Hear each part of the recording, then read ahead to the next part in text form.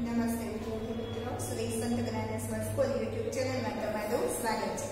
કેમ છો બધા વિદ્યાર્થીઓ? મજામાં ને? હવે આજે આપણે ધોરણ ચારમાં હિન્દી વિષયનો અભ્યાસ કરવાનો છે. તો હિન્દી વિષયમાં આપણે પાઠ છ નું રિવિઝન છે.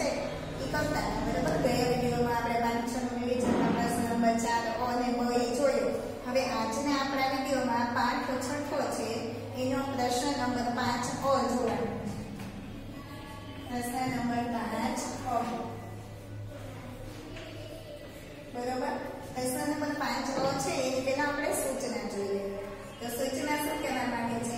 નિમ્નલિખિત પ્રશ્ન કે ઉત્તર એ એક વાક્ય મેં લીખી. એટલે કે નીચે આપેલા પ્રશ્નોના જવાબ છે એ એક એક વાક્યમાં તમારે લખવાના આવો પ્રશ્ન છે, એ એક માર્કમાં પૂછાઈ શકે પરીક્ષામાં, બરોબર? હવે તમને બધા લખતા સરસ આવડી ગયું છે હિન્દીમાં જવાબ. કેમ કે આપણે ઘણા પેપર ગયા ગયા એ બધેમાં પ્રશ્નના જવાબ તમે હિન્દીમાં જ હજી ઘણા ભૂલ કરે છે. પ્રશ્નનો જવાબ પૂરો થાય પછી પૂર્ણ વિરામ નથી કરતા. ગુજરાતીનું પૂર્ણ વિરામ શું આવે? મીંડું. હિન્દીમાં પૂર્ણ વિરામ છે ઊભી લીટી આવે, એને ખડી થાય એ પૂર્ણ વિરામ બધાએ કરવાનું. હવે આપણે જોઈએ પહેલો પ્રશ્ન. તો પ્રશ્ન હું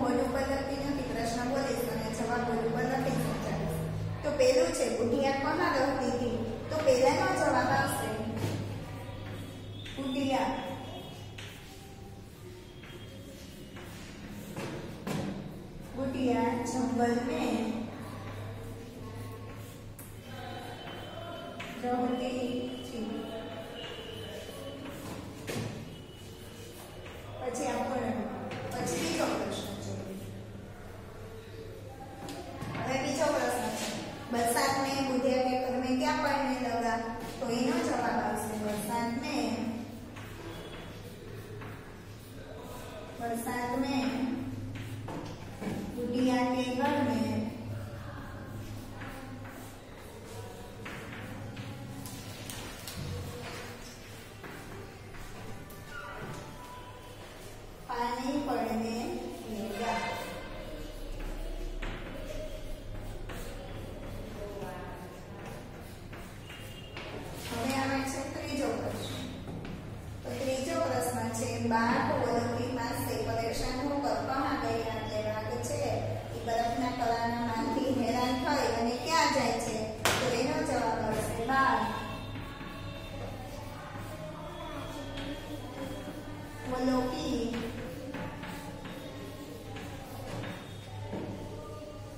મારસે પરેશાન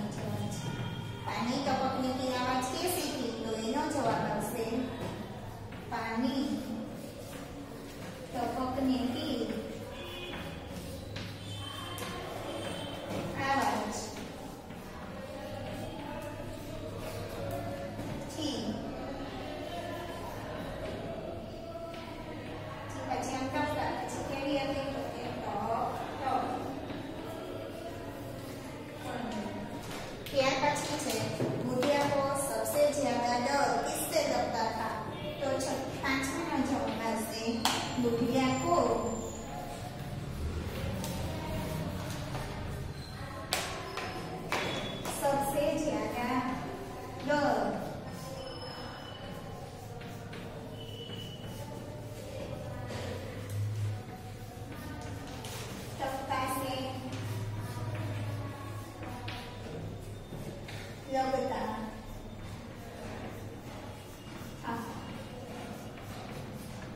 હવે છે છઠ્ઠો પ્રશ્ન જવાબ બુઢિયાની વાત સુનકર વાઘને ક્યાં ગયા અને ડોશીમાની વાત સાંભળી અને વાઘે શું કહ્યું તો એનો જવાબ આવશે છઠ્ઠામાં બુઢિયાની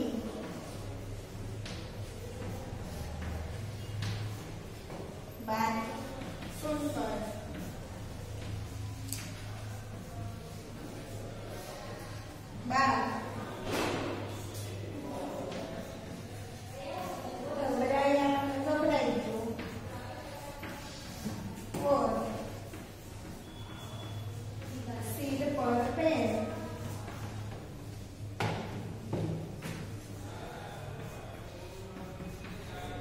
રફ પર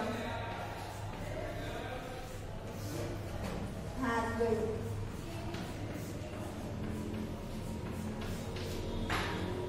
હવે છ એ છ પ્રશ્ન આપણે એકવાર જોઈ લઈએ ગુડિયા કોના રમતી હતી તો પહેલાનો જવાબ આવશે ગુડિયા જંગલમાં રહેતી કે એટલે કે ડોસીના જંગલમાં રહેતા હતા હવે બીજો પ્રશ્ન છે વરસાદને ગુડિયા કે ઘર મેં ક્યાં પડને લગ્યા એટલે કે વરસાદના ડોશીમાના ઘરમાં શું પડવા લાગ્યું તો એના જવાબ આવશે વરસાદને ગુડિયા કે ઘર મેં પાણી પરને લગા એટલે પાણી ટપકવા માંડે છે. પછી ત્રીજું, બાર ઓલોકી માસે પરેશાન કરવામાં ગયા તો એના જવાબમાં આવશે, જો ઓલે એટલે બરફના કરા. એટલે બાઘ છે, એ બરફના કરાના મારથી પરેશાન થઈ અને શું કરે છે? ક્યાં જાય છે?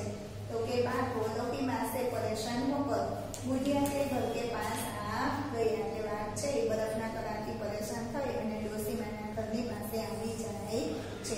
ત્યાર પછી ચોથું છે, પાણી ટપકની આવાજ કે શીખી તો એમાં આવશે પાણી ટપકતી અવાજ? થી ટપ ટપ. ત્યાર પછીનો પ્રશ્ન છે બુઢિયા કો સબસે જ્યાદા ડર કિસસે લગતા था એટલે કે ડોસીમાને સૌથી વધારે બીક કોની લાગતી હતી તો એમાં આવશે બુઢિયા કો સબસે જ્યાદા ડર ટપકા સે લગતા था એટલે કે પાણીના ટીપાની એને બીક લાગતી હતી ત્યાર પછીનો છઠ્ઠો પ્રશ્ન બુઢિયા કે બાદ શું કરવા એટલે ક્યાં ગયા એટલે કે ડોશીમાની વાત સાંભળી અને વાઘ શું કરે છે તો કે બુઢિયા કે બાત સુન કર બાદ ગભરાયા ઓર સીટ પર પેર પર ભાગ ગયા ડોશીમાની વાત સાંભળી અને વાત છે એ ગભરાઈ જાય છે. અને સીટ પર પર ભાગના એટલે ખૂબ જ ઝડપથી કાંઈ પણ વિચાર્યા વગર તેજ ગતિ એટલે ખૂબ ઝડપથી ભાગી જાય છે. તો વિદ્યાર્થી મિત્રો, આજે તમે પ્રશ્ન નંબર પાંચ અ એના છે એ આપણે છ એ છ પ્રશ્ન છે, એ એક વાક્ય નહીં જોયું. હવે આની હું તમને પીડીએફ ને મોકલું. તમારે શું કરવાનું વીડિયો જોતું જવાનું, પ્રશ્નના જવાબ સમજતું જવાનું અને રફ નોટમાં એક વાર લખતું જવાનું. અને પીડીએફ તમને આવશે નહીં. અને સરસ મજાના અક્ષરે ઉપર રફ નોટમાં હેડિંગ મારવાનું કે પાંચ, છ રિવિઝન પછી પ્રશ્ન નંબર પાંચ, અ એની સૂચના લખવાની અને પછી પ્રશ્ન અને જવાબ બે લખવાના. મેં બોર્ડમાં બધા ખાલી જવાબ લઈ એટલે તમારે ખાલી જવાબ નથી લખી નાખવાના પણ પ્રશ્ન લખતો જવાનો પ્રશ્ન પહેલો લખાય જાય, પછી એની નીચે જવાબ ચાલુ કરવાનો. એવી રીતે છ એ છ પ્રશ્ન, સરસ મજાના અક્ષરે